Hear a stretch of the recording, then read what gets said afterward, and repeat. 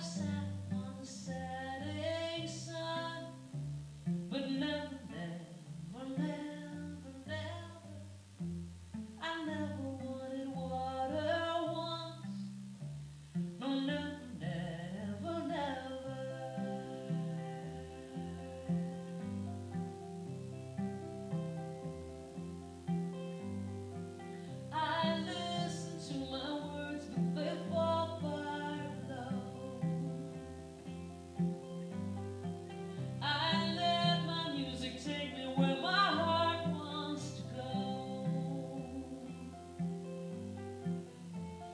swim upon the devil's lake, but now.